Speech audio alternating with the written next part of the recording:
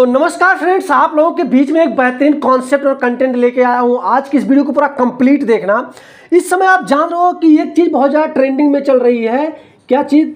Fatty liver समझ रहे हो आप ना? फैटी लीवर बहुत ट्रेंडिंग में चल रही है।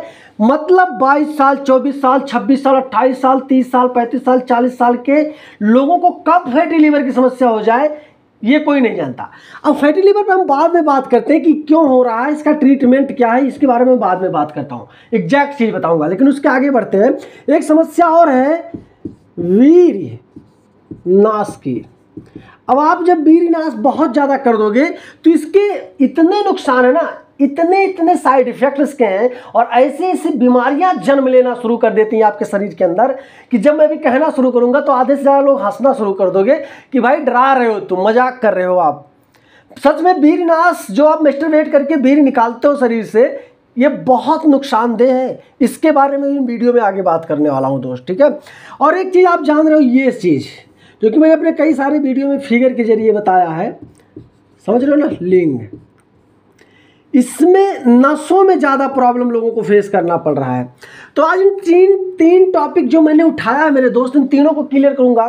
क्योंकि मैंने देखा है क्योंकि मैं भी लोगों के बीच में घूमता रहता हूँ तो कहीं ना कहीं मुझे लगा इन तीनों टॉपिक को अगर मैं एक ही वीडियो में क्लियर करूँगा तो मज़ा आ जाएगा। मैं सच बता रहा हूँ, खूब मज़ा आ जाएगा। तो पूरी वीडियो को देख लेना अच्छे से। अगर फैटी लीवर आपको है तो सबसे पहली चीज़ आपको शराब छोड़ना होगा। अगर आप शराब पीते हो, चाहे बियर पी रहे हो अंग्रेज़ी पी रहे हो, देसी पी रहे हो, उससे मतलब नहीं। आपको तुरंत शराब छोड़ना होगा। क्योंकि आप अगर एल्कोहल का सेवन करोगे तो फैटी लीवर की समस्या जीवन में नहीं सही होगा। तो शराब जैसे आप छोड़ते हो, उसके तुरंत जस्ट आप फास्ट फ़ूड वाली चीज़ें छोड़ो। जो फास्ट फ़ूड होता है। आप लोग देखते होंगे बहुत सारे लोग फास्ट फ़ूड दबा के खाते हैं मार्केट की ना। तली बुनी चीज़ें चिकन मटन ये सब चीज़ें आपको छोड़ना होगा। हरी सब्ज़ी पे तुरंत आओ, दाल, चावल, सलाद तो दबा के खाना खीरा, टमाटर, नींबू, ये सब चीज़ें बहुत ज़्यादा सेवन करना, दही का सेवन कर सकते हो आप। दही का रस बना के पियो तो और बढ़िया फ़ायदा करेगा। शक्कर कम कर देना, आलू कम कर देना आपको। अगर फैटी लीवर सही करना है तो। आगे वीरनाश में हम बात करते हैं। वीरनाश अगर आपने ज़्यादा कर दिया और कई सारी समस्या आपको देखने को मिल रही है तो सबसे पहली चीज़ जो आपको करना होगा, वो है ब्रह्मचर्य करना होगा मेरे दोस्त। ब्रह्मचर्य कैसे करना होगा? जो लोग मुझसे नए हैं, जुड़े हैं, अभी मेरी वीडियो को पहली बार देख रहे हैं, उनको शायद समझ में नहीं आ रहा होगा। मैं बता रहा हूँ, ब्रह्मचर्य करने के लिए आपको कुछ ज़्यादा नहीं करना होता है। उसके लिए बड़ा प्रोसेस है, बेहतरीन रूटीन है। वीडियो का लिंक दे दूँगा अपने डिस्क्रिप्शन में, जाके देख लेना, आपको समझ में आ जाएगा ब्रह्मचर्य कैसे करना है। और अगर आपके मन में ये सवाल आ रहा है कि ब्रह्मचर्य करने से सिर्फ़ नहीं होगा, मुझे कोई डाइट आहार के बारे में बताओ मेरे दोस्त। तो सबसे अच्छी चीज़ मैं आपको यहाँ रिकमेंड करना चाहूँगा अश्वगंधा अश्वगंधा लेना आप शुरू कर दो, दूध के साथ सुबह शाम एक एक चम्मच। लेकिन ध्यान रहे, अगर आप अश्वगंधा कर खा रहे हो तो रनिंग नहीं करोगे तो बहुत दिक्कत आपको होगा। ध्यान रहे अश्वगंधा खा रहे हो रनिंग नहीं कर रहे हो तो बहुत ज़्यादा दिक्कत आपको उठाना पड़ेगा।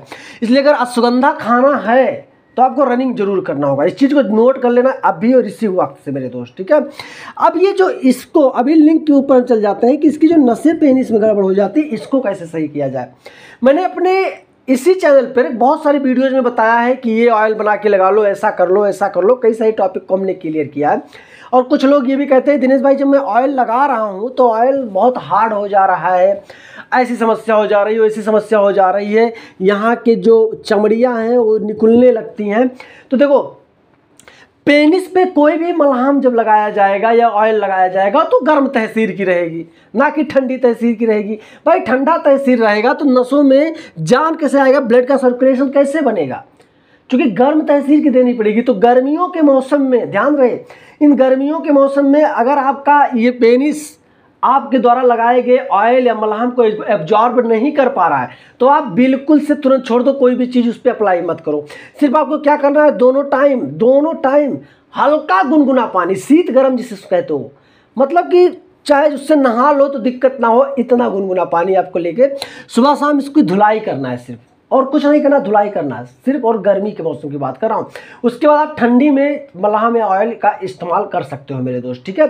और रही बात अगर वीरनाश ज़्यादा कर दियो या कर रहे हो तो इसको तुरंत से तुरंत छोड़ने की कोशिश करो मेरे दोस्त, क्योंकि इस स्टूब पे बहुत सारे लोग बताते हैं कि वीरनाश करने से कुछ नहीं होता, लेकिन मैं सीना ठोक के कहता हूँ, अगर आपका वीरनाश करना नहीं छूटा तो दुनिया की कोई भी ताकत या कोई भी डॉक्टर आपकी मर्दानगी वापस नहीं ला पाएगी।